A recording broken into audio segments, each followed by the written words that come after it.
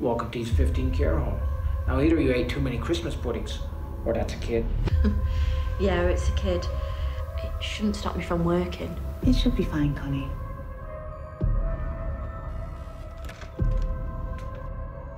I'm really glad you've joined us. Why would you give all those hags free surgery? Because I'm a kind, generous person.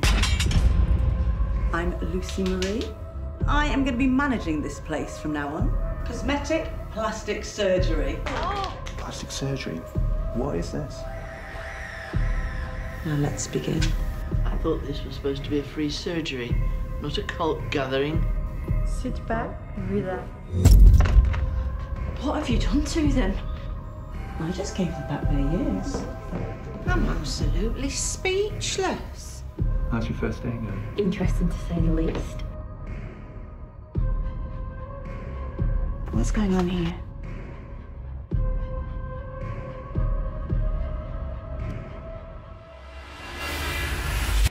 What's with all the restraints? Why am I literally strapped to a chair for some bloody lip filler? Come on! That stings! You're to look like a whole new person.